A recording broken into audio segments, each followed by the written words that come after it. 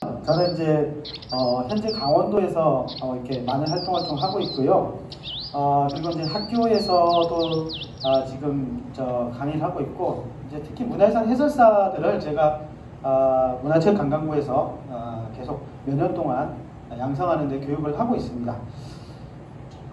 아, 동해시의 근대기 역사 그리고 동해시의 근대기 산업유산 이런 제목으로 제가 좀 오늘 가르칠 건데요. 여러분들 뭐 잘 알다시피 저는 이제 에, 동해시 하면 실제로는 북한과의 관계, 에, 러시아와의 관계, 뭐 이렇게 그런 관계들이 좋았다고 하면 굉장히 발전할 수 있는 원동력이 있었다. 그래서 이제 우리가 효과리 같은 데 이렇게 보면 넓은 도로가 막 옛날부터 60년대 이제 70년대 만들어졌지 않습니까? 계획 도시로서 평택이라든가 어, 어디죠? 저기 창원, 지금 창원이 100만 도시가 됐는데 그런 도시처럼 여기 동해안을 동해시를 키우려고 동해 항만도 건설하고 이제 이런 과정이 있었단 말이에요. 이게 지리적으로 보면 남한과 북한이 있고 중국이 있고 러시아가 있는데 이쪽으로 뻗어나갈 수 있는 굉장히 에, 굉장히 좋은 전략 위치에 있었다라고 하는 부분이 아, 좀 굉장히 중요한 것 같습니다. 그래서 제가 이 사진을 한번 지리적 위치를 저희가 한번 점검하기 위해서 한번 만들어 봤고요. 어, 그래서 제가 강의할 내용은 일단 동해시의 현재 그리고 1930년대 전후의 동해시가 어떤 변화가 있었는지 그리고 광복 이후에 동해시는 어떤 발전이 있었는지 그리고 어, 그 다음에 이제 근대 시간적 정의와 어, 근대 문화유산의 개념과 형성 배경 그리고 근대 산업유산이 왜 중요한가 아, 그리고 동해시의 근대 산업유산은 어떤 것들이 있는가라고 하는 부분으로 마무리 지을까 합니다. 자, 제가 빨간 글씨로 강조를 했습니다. 자, 동해시 근대기 역사. 자, 많은 분들이 동해시와 관련되는 인물과 그 다음에 이제 뭐 역사 이야기 하면 조선시대 이전의 이야기들을 많이 들었을 텐데 동해시 근대기는 어떤 역사가 있는가를 한번 어, 생각해보는 시간이 됐으면 좋겠네요. 일단은 아까 말씀드린 동해시는 지리적으로 강원도 중에서도 영동 쪽의 남부 지역에 위치하고 있어요. 그리고 태백산지의 동해사면에 위치해서 서쪽은 높고요. 동쪽은 낮아서 동부의 구릉지와 평야가 전개되는 지형을 가지고 있습니다. 또 해안선을 따라서 위에서부터 보시면 망상, 어달, 묵고, 청곡, 송정, 추암으로 이어지는 칠합들이 옛날에 형성이 되었습니다. 지금은 내륙이나 이런 데 많은 이제 아파트 단지들이 많이 생겼지만 당시에는 여기 위주로 특히 아, 송정 쪽이 굉장히 많은 칠학이 고전 전통적으로 많이 이루어졌던 곳이라고 볼 수 있습니다. 현재 뭐 인구수는 어, 9만 2천 이제 137명 정도가 되고요. 아, 그 다음에 이제 뭐 이렇게 쭉 되는데 이게 이제 저희 인구수는 현재 그 18년도 기준이기 때문에 좀 변동이 있습니다. 아무튼 어, 평균 기온은 13.2도고 뭐 행정구역은 어떻게 되고 아, 그 다음에 주요 관광객 방문객수는 얼마큼 정도 되고 어, 강수력은 한뭐 우리 평균 1,500에 가까운 그 정도 된다 이렇게 보시면 되겠습니다. 자 그런데 도시 구조는 어떻게 되냐면 동해시는 과거 여기 계신 분들은 너무 잘 아시겠지만 명주군에 있는 묵호읍이라는 큰 도시와 어, 삼척군의 우평읍이 합쳐져서 만들어진 도시입니다.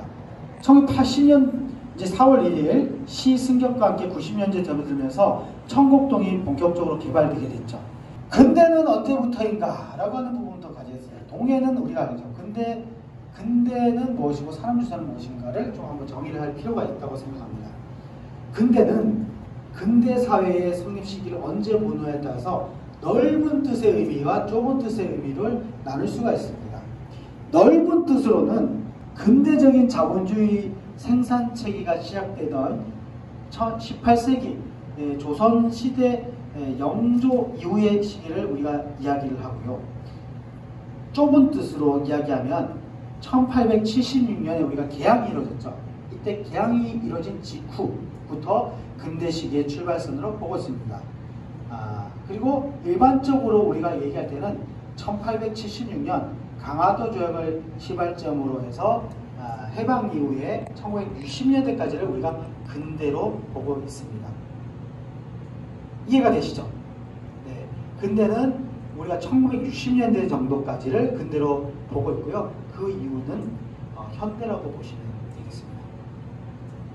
그래서 근대는 시작과 끝이 모호해서 전근대에서 근대로 이행해가는 상태로 포괄적이가 필요합니다.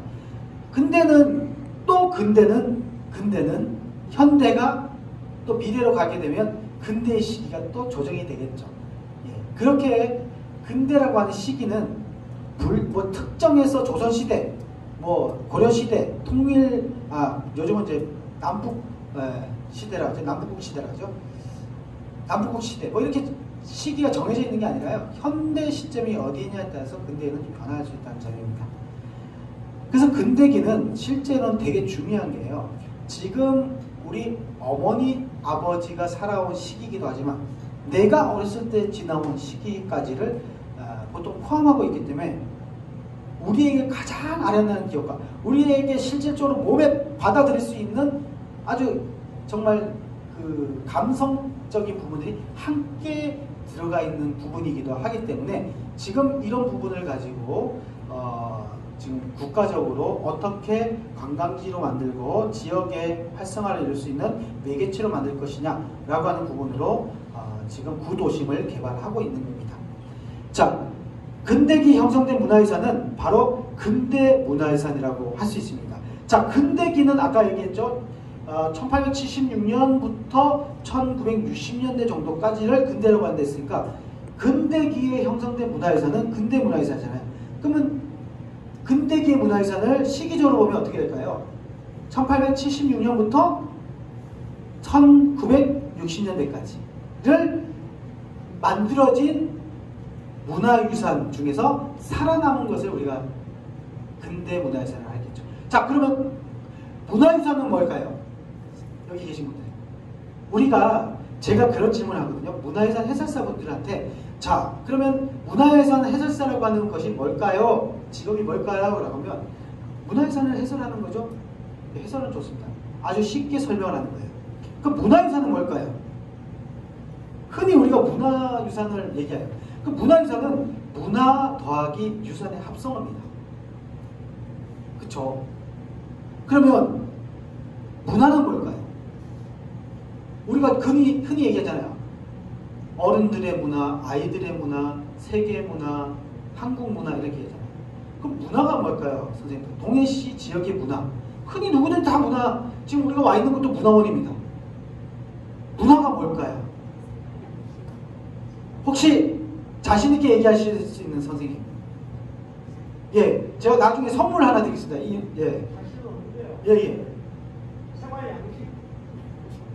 어, 생활 양식. 틀리진 않습니다. 맞습니다. 살아온 예. 역사. 네. 살아온 역사. 살아온 역사. 예, 살아온 역사도 맞습니다. 두 번 맞췄고요. 또, 네. 그 시대의 종합적 예술. 예? 종합적 예술의 종합적인 예술. 이야, 역시 대단하십니다. 우리 선생님들 나중에 사무장님, 세분 저기 그 좀 이름 좀 하는 다음에 또 오시죠. 제가 선물을 하나 드리고 가겠습니다. 그래서 세 분 말씀하신 걸 종합적으로 얘기해 드릴게요. 근데 약간 뭔가 아쉬운 부분이 있어요. 그렇게 이야기해요. 살아온 역사, 뭐 뭔가 이렇게 뭐 양식, 뭐 이렇게. 그런데 여기에서 제일 중요한 거는 인간이라고 하는 겁니다. 사람. 자연과 대비해서 사람이 태어나면서 죽을 때까지 만들어놓은 모든 것을 총체적인 모든 것을 문화라고 합니다. 그래서 사람이 태어날 때 어, 아기가 태어났을 때 어떻게 해주냐 태교 이런 것도 다 뭐예요? 문화가 되죠. 죽었을 때 장례 치러주고 하는 것도 다 문화가 되는 겁니다. 그런데 이 문화가 개인 혼자서 만들어내고 내 혼자에게 아, 알게 되면 이건 나의 개인 문화가 되는 거예요. 근데 그 개인 문화가 내가 만들어냈는데 아, 가족들 따라해. 가족들의 문화가 되는 거고요. 가족들이 하는데 어 우리 종친에서 보니까 어 저 저거는 우리가 저렇게 하는 거 괜찮은 것 같아. 밥을 먹을 때 저렇게 하는 게 괜찮은 것 같고 어 뭐 다도를 하는데 저렇게 하는 게 괜찮은 것 같아. 그러면 그게 뭐가 되냐면요. 우리 친족의 문화가 되는 거고 그게 사회적으로 지역에서 함께 공유하게 되면 바로 지역 문화가 되고요. 지역 문화가 어 대한민국에서 어 저거 괜찮은데 저거 다 따라하자 이렇게 되면 대한민국의 문화가 되고요. 대한민국 문화 중에서 또 세계가 어 인정하고 이제 공유하게 되면 바로 세계 문화가 되는 겁니다. 제가 왜 그런 말씀을 드리냐면 한옥이 옛날부터 한옥이 있었어요. 한국 음악도 옛날부터 있었습니다. 한국 음식도 옛날부터 있었어요. 그런데 왜 지금 갑자기 케이팝이 이래가지고 BTS가 뜨고 있고 아, 우리 한옥에 대한 관심을 많은 사람들이 가지고 있고 한국 조경이 세계 속에서도 인정받는 조경이 됐냐? 아, 이제 세계유산이라고 하는 부분들도 이제 당연히 우리나라에는 몇 개가 있을 거라고 생각하는 사람들이 많아졌습니다. 옛날에는 우리 거가 되게 부끄러웠어요. 온돌이 야 이거 우리 우리 뭐 한옥이 너무 지저분하고 막 이런 이런 교육들은 일제 강점기 때 저희가 아, 우리나라의 그 살아온 여태까지 좋은 기술이라든가 아, 생활 환경 문화들을 일본 사람들이 에, 근대화 시켜주기 위해서 필요하다라고 하는 그런 명분 때문에 저희가 항상 그렇게 배워왔습니다. 근데 알고 봤더니 온돌은 전 세계에서 가장 훌륭한 낭방 방식이었습니다.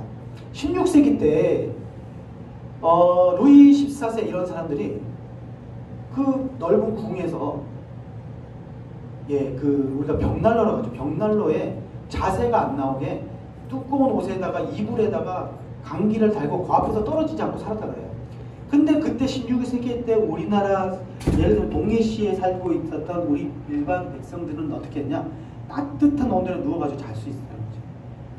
근데 이 온돌이 여러분들 지금 현대에 와서 이게 panel heating system이라고 하는 것을 우리나라 사람이 만들어낸 게 아니에요. 프랭크 로이드 라이트라고 하는 미국의 대단한 건축가가 일본에 갔는데 일본 양식의 주택인 줄 알았어요. 자고 보니까 너무 따뜻한 거예요. 야! 전 세계에서 가장 훌륭한 난방 방식이다. 오! 이걸 내가 나중에 뭐 시스템화 만들어야지 했던 게 패널 히팅 시스템이다. 판넬, 바닥을 따뜻하게 하는 시스템인 거죠. 이게 현대 우리가 쓰고 있는 온수 뭐 이런 걸로 이제 바뀌어가지고 현대적으로 지금 바닥을 따뜻하게 만드는 구조가 된 겁니다. 우리의 그 훌륭한 난방 방식 이것은 왜 우리의 훌륭한 난방 방식이냐면 중국에도 발전하지 않았던 겁니다. 우리나라만이 발전을 시켰던 것이죠. 그런 난방 방식이라든가 이런 것들이 훌륭한 것들이 진짜 많았거든요. 이런 것들이 굉장히 에, 우리는 부정받고 있었던 부분입니다. 그래서 아, 제가 이제 어떤 얘기를 좀 하지 아무튼 이 시기에 그 우리가 문화라고 하는 부분들이 이제 각광받기 시작해서 우리가 몰랐던 문화들이 한국의 문화들이 전 세계인들이 열광하기 시작했어요. 와 한국의 음악, 와 우리 한국의 어, 주거, 한국의 음식, 야 정말 대단하다 이렇게 이제 도시화가 이루어졌던 도시입니다. 이걸 기억하셔야 됩니다. 동해시는 일제강점기 일본의 장수탈과 군수공학학부 정책에 따라서 산업화와 도시가 이루어졌다. 그래서 1930년대를 전후로 역사상 동해시가 역사상 지금까지 이 지역이 가지고 있었던 가장 큰 변화를 맞이하게 된 게 바로 이 시기입니다. 기존에는 고려 시대, 뭐 조선 시대 넘어오면서 다 비슷해 어업과 예, 그 농업과 관련돼 있는 산촌에서의 어, 그런 모습들이 그냥 그대로 그냥 아주 절, 전통적인 주거가 이렇게 만들어지고 그런 어, 일들을 해왔는데 1930년대는 여기가 획기적으로 변화를 하게 됩니다. 그렇기 때문에 동해 근대 문화에서는 왜 도대체 우리 동해시가 이렇게 현재의 모습을 가져가게 된 거는 언제부터지라고 하는 근거를 만들어주기 때문에 중요하고요.